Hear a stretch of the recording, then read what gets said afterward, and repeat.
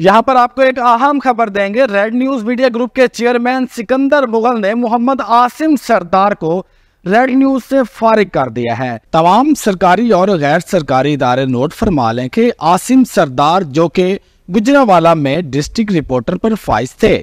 जबकि अब चेयरमैन सिकंदर मुगल ने आसिम सरदार का नोटिफिकेशन कैंसिल कर दिया है। तमाम इदारे नोट फरमा ले कि आसिम सरदार का इदारा किसी कॉल फेल का जिम्मेदार ना होगा।